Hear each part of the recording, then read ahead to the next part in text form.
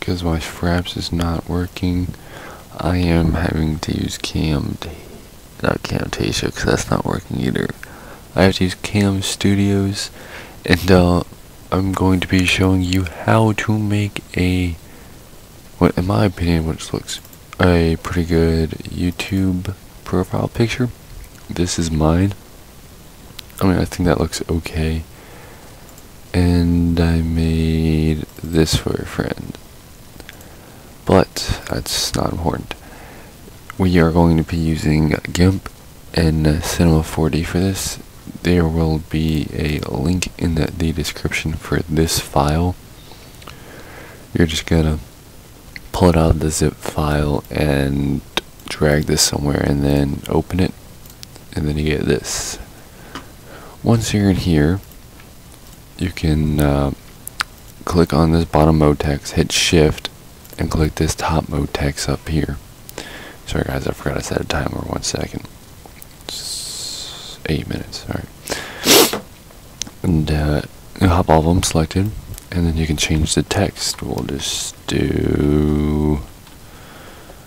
Well, I guess we'll just do my username.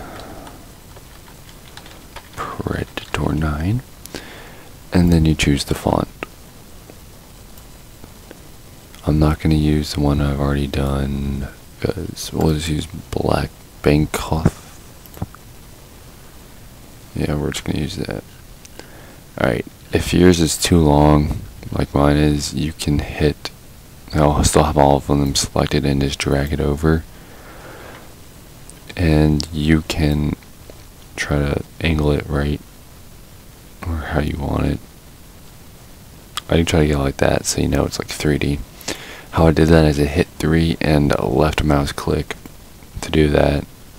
Pan, I guess. No, because if you click 1 and stuff, that's pan. If you click, hold down 1 and then left click, you can pan. Yeah, that's pan.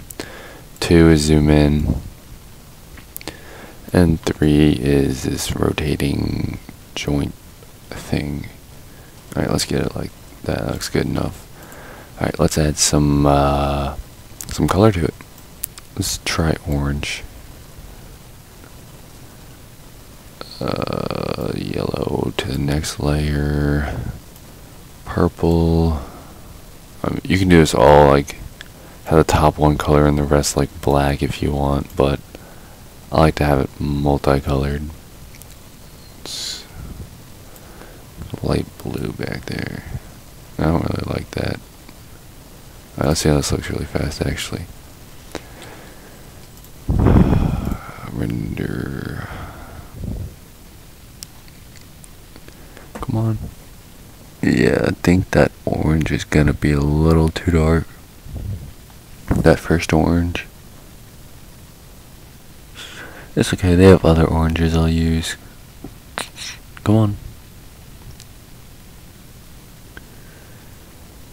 Uh, come on, computer.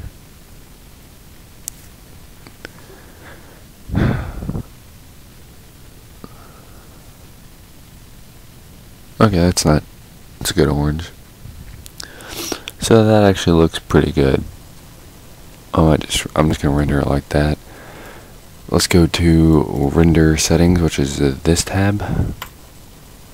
Actually, I'm gonna do that in in my profile picture. I have it like cracked. Let's see if I can find it really fast. Oh, it's my GIMP folder. Alright, you see how it's like cracked? Alright, I'll show you guys how to do that. Because it might look pretty good. So, you click the first one, this first MoText. Oh, crap. And you have to have the plugin, uh, Thesaurus, whatever, Tharsi, Tharsi. And you're just going to click it, and we're just going to do about 30. Yeah, well, I guess we'll just do 30. And then we're going to break it. Oh, I think the cap should already be on fillet. Whatever, I'll have to check after this is done breaking. I probably should have grouped it first. Yeah, that probably would have been a little better idea to group it first. But, whatever. We'll do that in a second. Alright.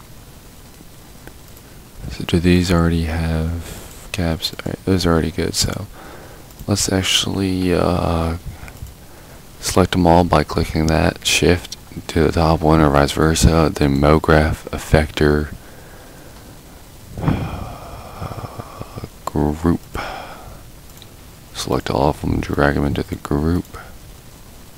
Oh, I missed. Drag it into the group. And and then have the group selected MoGraph effector. I think it's effector. Random, yeah, and then drag the random into the group. Alright.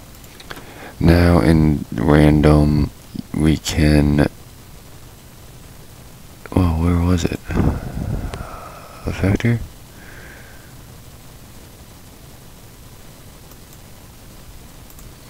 I thought it was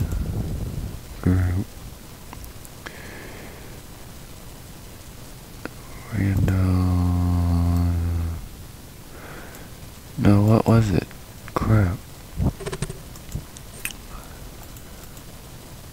Point. There we go.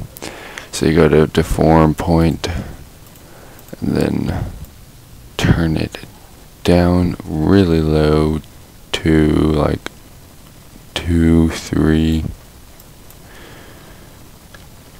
Let's go 2.5. That looks a little too cracked. 1.5. Alright, that looks good enough. Let's. I'm just gonna render this because I don't really feel like looking how it looks, but you can render preview and uh, check how it looks. But real quick, for the all of this should be good, except I'm just gonna change the uh, location of its saving. Let's call this FE Predator 9. Right. And then let's close that and render it. So it's going to take a little tiny bit while it's rendering, and I guess I'll just have this in parts for the Cinema 4D part and then the GIMP part. But we are just going to end the tutorial after this, after I show you how it looks. And if you guys don't want the breaking up effect, if you want a solid effect, like you want the whole text, then you can uh, delete it. Like not go into the Thrasy, Thrasy steps I did. Because it's, it's a little more work and it's also a plugin that you have to get. Alright, I think it's done. Almost.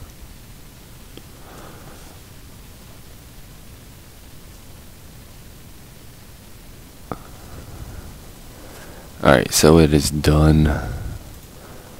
Let's go drive the tutorial. Yep. Alright, and uh, here it is. This is how it looks. I think that looks pretty good. Looks broken up, but not too broken. That actually look good, and like, if you're doing like a montage and it's like have it fall and hit the ground, like break or like crack or have it hit glass or something. But that's gonna be end for this because I'm gonna split this up into separate parts, and I'll come back to the next part.